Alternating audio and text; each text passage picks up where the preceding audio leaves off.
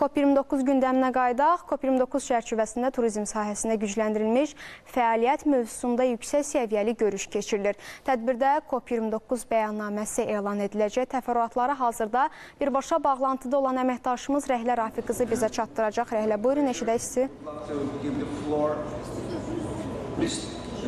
Abdullah bin Todd Al-Mari, Bəli, COP29 çərçivəsində bilirsiniz ki, hər gün tematik bir gündür və bu gün 10-cu gündür. Təbii ki, bu gün də bugünün də mövzusu çox maraqlıdır. Məhz urbanizasiya, nəqliyyat və turizm.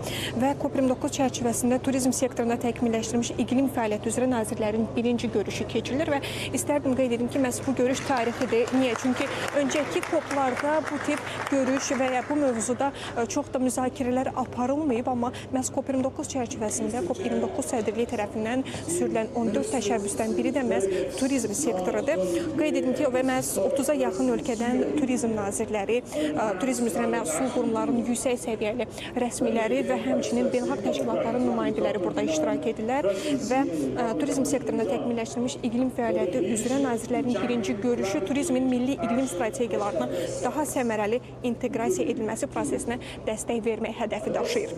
Və bir qədər öncə tədbirdə çıxış edən məhz Dövlət Turizm Agentliyinin sədri Fuad Nağıyev qeyd etdi ki, əslində bu sahə, turizm sahəsi həm iqlim dəyişikliyindən təsirlənən, həm də məhz iqlim dəyişikliyinə töhfə verən bir sahədir və qlobal iqlim dəyişikliyi ilə mübarizədə xüsusi rola malikdir. Daha sonra məhz tədbirdə COP29 prezidenti Muxtar Babayev çıxış etdi və qeyd etdi ki, məhz BMT-nin iqlim dəyişmələri üzrə çərçivə konvensiyası tarixdə ilk dəfədir belə bir tematik gün irəli sürülüb, təşəbbüs irəli sürüb və məhz turizm gününün turizmin qlobal iqlim turizm gündəliyinə inteqrasiyası, Paris sazişi, dayanıqlı inkişaf məqsədləri ilə uyğunlaşdırılması istiqamətində məhz ə, önəmli addım olduğunu vurğuladı.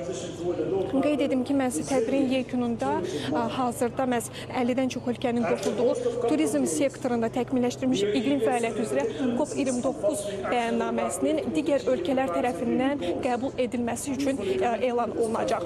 Hələlik bizdən tədbirdən çatdıracaqlarımız bunlardan ibarət idi. Buyurun, söz sizdədir.